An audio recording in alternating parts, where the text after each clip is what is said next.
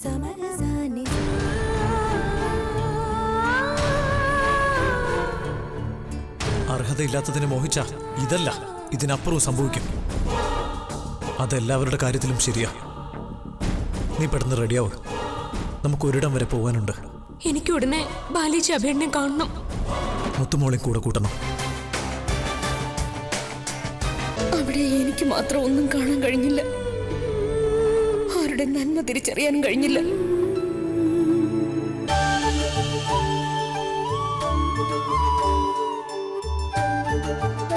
ബാലേച്ചിയുടെയും അഭിയേട്ടന്റെയും അനുവാദത്തോടെ ഞങ്ങളാണ് മോളെ കാണാൻ വരേണ്ടത്.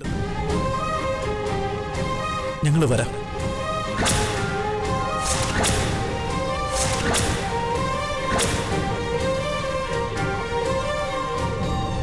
കറുത്തമുത്ത് ഇന്ന് വൈകുന്നേരം ആറു മണിക്ക് ഏഷ്യാനെറ്റിലും പിന്നെ എപ്പോഴും ഹോട്ട്സ്റ്റാറിലും.